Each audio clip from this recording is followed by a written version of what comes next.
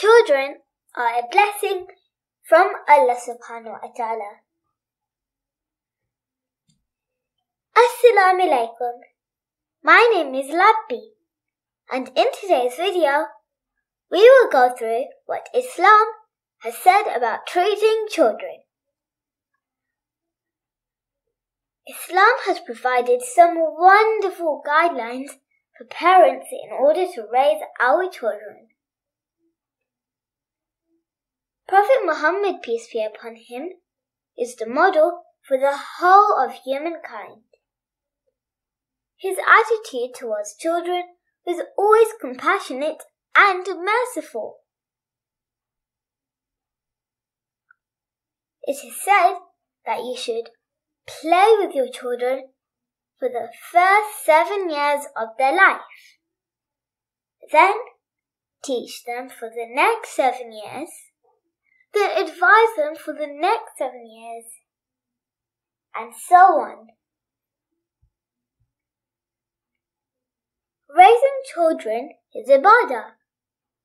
Recite the azan when your child is born. Perform akika.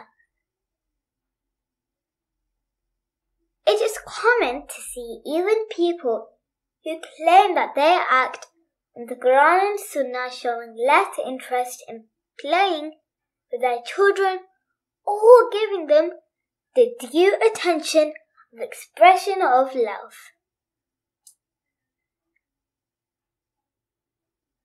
Teach kalima tayyiba. Be a role model and teacher.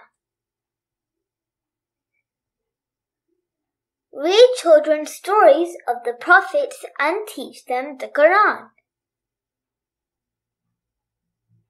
Children have certain rights over their parents. It is family's obligation to shelter, feed, clothe, educate, support, and love them. Spend time with them. Develop an encouraging and supportive environment. Keep an eye on the company of your kids. The Prophet was always considered about everyone's feelings. In Islam, both male and female children should be treated equally and should be loved and cherished. Pray in front of them. Explain the five pillars of Islam and the meaning. The Prophet's love for children was not restricted to his children and grandchildren. The extent of his mercy and affection embraced all children, and he showed the same interest and gentleness to his companions' children.